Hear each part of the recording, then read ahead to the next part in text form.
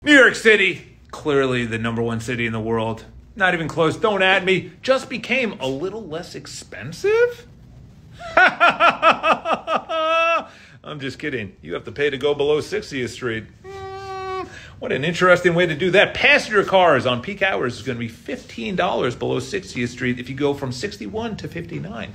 If you're in a truck, it's 24 to $36 depending on size. If you're in an Uber or Lyft, there's a $2.50 surcharge. And of course, if you're on a motorcycle, we can't forget about you. That's $7.50 just drive on the sidewalk or on the bike lane. That's what I would do. The goals for this tax by the MTA is going to be reduce traffic congestion.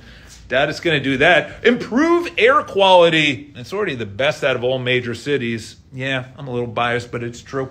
And fund public transportation. We've been hearing that for years. And all the people in the comment section that said, well, if you can afford to drive it below 60th Street or into New York City, you can easily afford this. Hello, hello, anyone home? Do you understand that the trucks that deliver the products are going to pass that on to the consumer? Kind of like Dodd Frank and the banks that were like, oh, uh, sorry about 2008, but your closing costs are going to be a little bit higher because we got dinged by a bill. What do you guys think about this? Because to be honest, I think your groceries might be a little bit more.